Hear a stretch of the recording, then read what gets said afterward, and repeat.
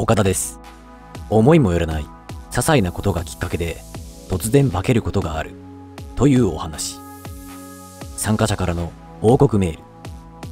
TAV ライブセミナーの後に、5人くらいに声かけをしてきました。たまたまマスクをつけていて、顔が小さいターゲットがいたので、ちょっといいですか？お姉さん、マスクが大きいですよ。いやいや、普通です。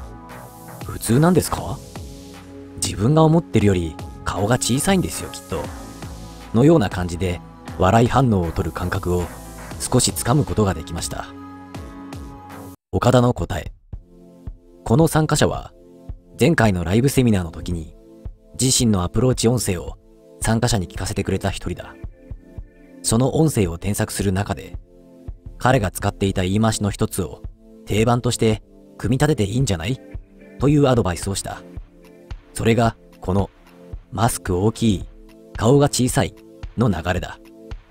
このように、ターゲットの女性に対して、まんざらでもない感情を芽生えさせながらいじっていくという流れを作れる方を身につけると、徐々に結果が安定してくる。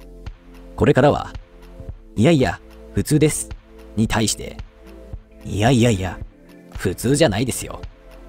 お姉さん、これくらいですよ。指で輪っかを作りながら、と、すり替え気味のユーモアで、リアクションを引っ張ってくる流れを磨いていくと、どんどん良くなっていく。もちろん、これ以外にも相手のリアクションはあるから、それぞれ、鉄板の型を作っていけばよい。最初の、マスクが大きい、で、相手の反応を限定しているから、思ったほど大変な作業ではない。大事なのは、次の意識があるかということ。自分自身で、俺は今、なぜこう言ったのか、に対して、ちゃんと説明できるか、ということ。こういう風に思ったから言ったではなく、こういう展開を狙っていった、という説明。さらにもっと大事なのは、より早く行動していくことだ。この相談者は、早速、これからずっと続く環境で戦っていくための大きな一歩を踏み出し、きっかけまで手にし始めた。今はここをとことん磨けばよい。必ず化ける。この化ける時ってのは、案外、本人自身は自覚していないものなんだ。私自身がそうだったように。だけど、絶対的な型ができていく過程ってのは、得てしてそんなものだ。ある日、突然、うおーっとなる。